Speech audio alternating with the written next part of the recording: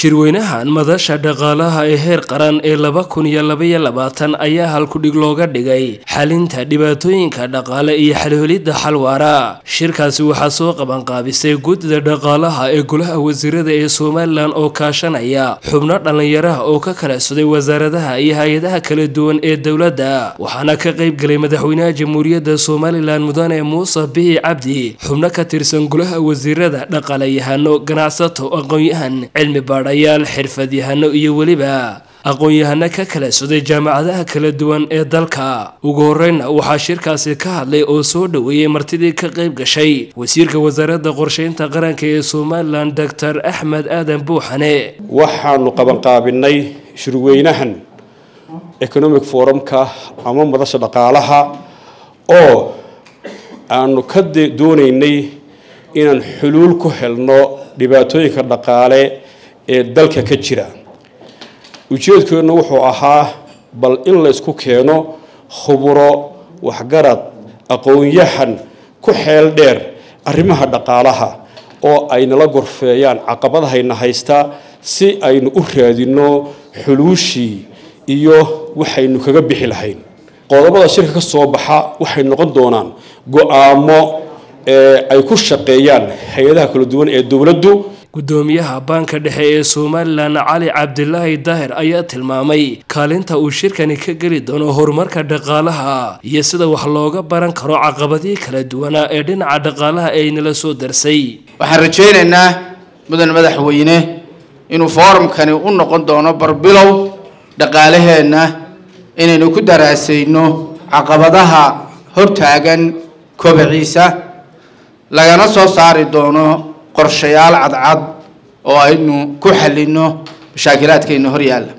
Wasiirka wasaaradda ganacsiga ee somalilan mudane maxamuud xasan sacad saajin ayaa bulshada somalilan u soo jeediyey inay la yimaadaan wax soo saar islamarkaana dalkooda ay wax kala soo baxaan. Shirkani markii aan qabanqaabinaynay annakoo eegayna arrimahaasoo ku dhan. Waxa weeye sida daadi lagu jirown waa dhibaatay leedahay. Si haddaba in xal loo raadiyo waxyaabahaa jira yaa moogtahay shirkani keentay shirkani xuluushiisa dee waxa weeyaan waa inaan wax ka bedel ku samayno sidaan u noolla adduunyada dadka moogtahay noocaa aan inaku u diranay inay waxay noo beeraan ma beeraan waxe. Waxaa beera dadkiinaa baacmajay dadka maalka haystaa wax beera.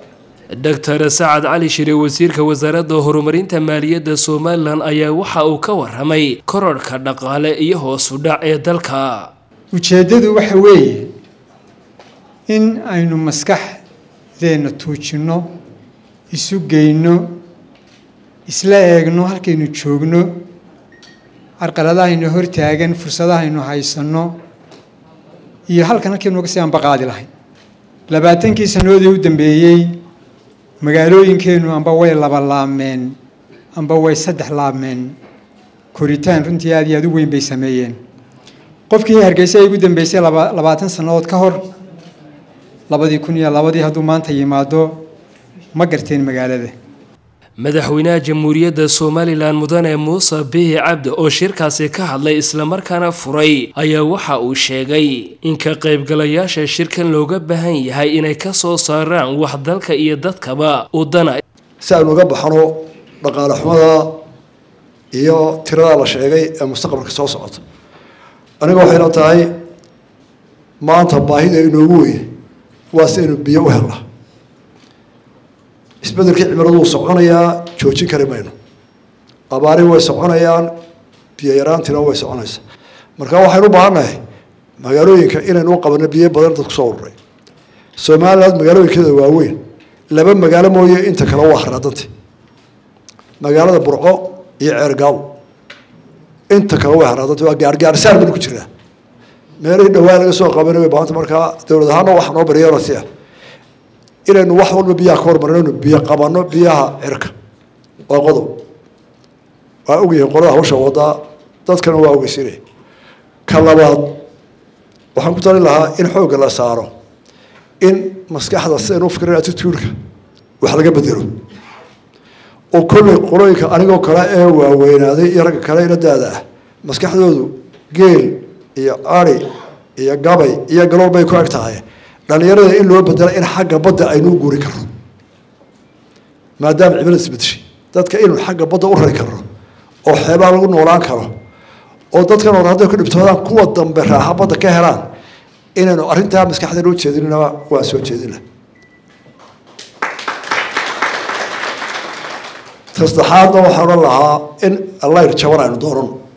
Aada iyo aad baan idinku mahadnaqayaa waxaan ka rajeynayaa in qolooyinka baanaladu soo saari doonaan wax ku ool.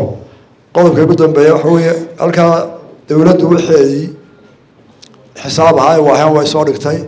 Miisaaniyadeeduna waxay ka muuqataa mar websiteka iyana waa banaanyaal dalkana waxaynu dalku waa free market oo dhaqaalaha shacbiga haya iyo baamushtarka shirkadaha waaweyn iyo baamushtarka waxaa laga rabaa ila waa hanti qaran waxayana iyagana inay waxooda transparent noqoto. Shirkaasi ayaa ka socon doona hoteelka ambasador ee magaalada hargeysa muddo saddex cisho ah. Axmed saki daahir xasan warbaahinta qaranka magaalada hargeysa